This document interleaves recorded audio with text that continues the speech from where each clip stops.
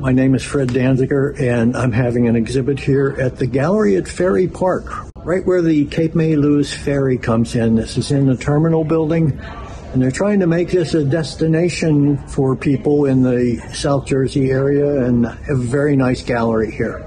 How long has the gallery been around? We opened in November of 2021. And is Fred the greatest thing since sliced bread? You better believe it. I think so. Yep. When I heard Fred's show was just 30 miles away from Ocean City, I immediately fueled up my helicopter and choppered down. I asked him for an overview. It's mostly recent work. It reflects my interest in George Bellows, who had such a great range of art from portraits, landscapes, cityscapes.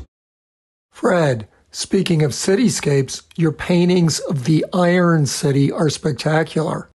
I don't know of any contemporary painter who captures the soul of Pittsburgh the way you do. Well, because I was born there, grew up there, and have such fond memories. Your hometown, you can't get rid of it. So I love the place. One of your great drawings is called The Pittsburgh Girl, and I think I see her in an actual painting as well. Yeah, I saw her walking up one of the really steep hills in Pittsburgh. I did a drawing of her and I finally decided to put her in this painting, more or less coming home. So she's made the climb to her house. When we grew up, Pittsburgh was still smoggy, but boy, your dawn painting of Pittsburgh, it's just so beautiful. I guess things are better now.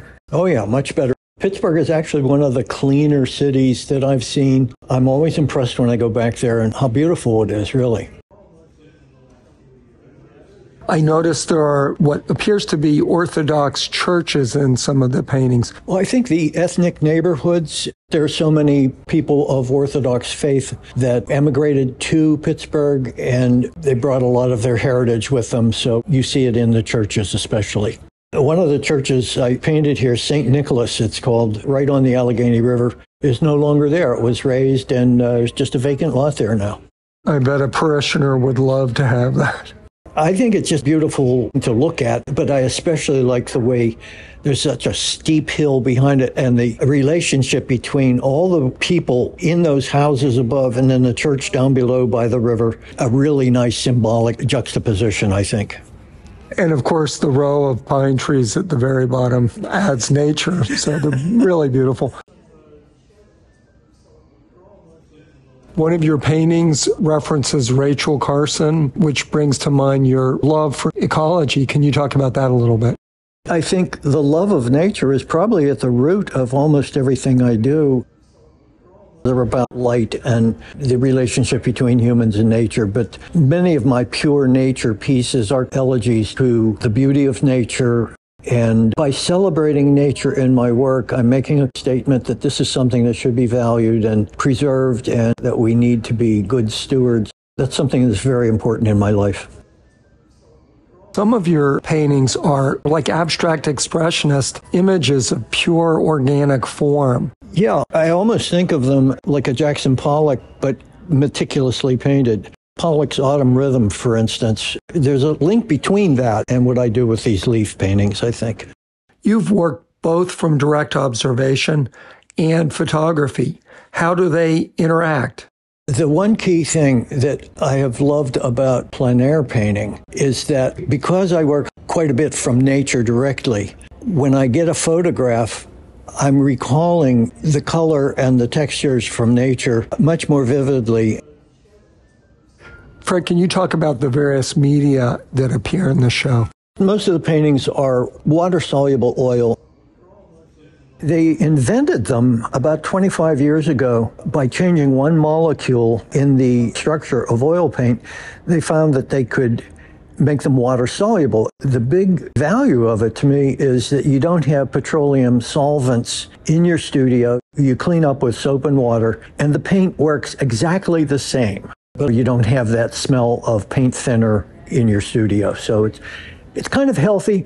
And painting in plein air, you don't have to worry about spilling turpentine or paint thinner onto the ground. So it's helpful in that way too. But I like to switch to gouache or casein. I can work a lot faster. And I don't worry so much about really rendering out the forms and kind of gives me a nice break from the very meticulous work that I do in oil. I have to laugh a bit at Fred's claim of breaking from meticulousness. This large scale gouache is hardly slapdash. Look how lovingly Fred has rendered each fern leaf, both in light and in shadow. This painting of a sheep shearing was done in casein, a milk based medium. And Fred has captured tremendous detail. Plus, he told me the backstory. This goes back so far, the relationship between people and sheep.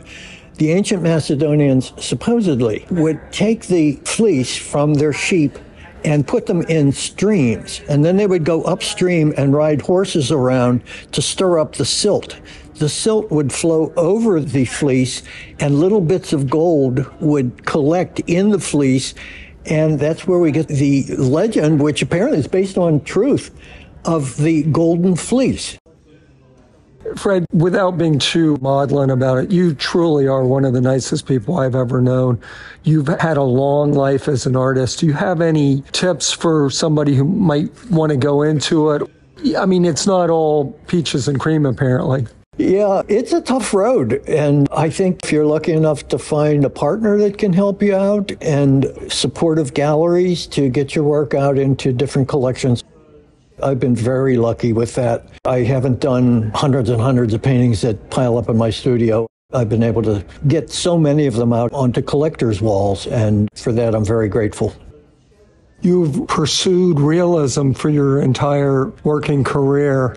These are not easy paintings to do. Talk about the commitment that it takes. Yeah, I don't wait for inspiration. I work almost every day. I try to work from nine to nine with breaks in between, but I try to put in a good eight hours like any good working person. I think of it like that. It just, the work I do is inspiring to me and the thing that I've always wanted to do since I was a little boy, and I'm just very lucky that I've been able to do it. Thanks, Fred, and thank you for your years of friendship. Same here, John. All those many years at the Art Institute. Great times together. Truth be told, in those days, I often baited Fred into verbal fisticuffs worthy of a George Bellows painting. And yet, Fred repaid my meanness with an amazing gift of art which a mutual friend has been trying to get his hands on. And can you please explain to Eric that I'm not going to sell my painting that you did of me? Eric, John is not giving it up. Thanks, Fred.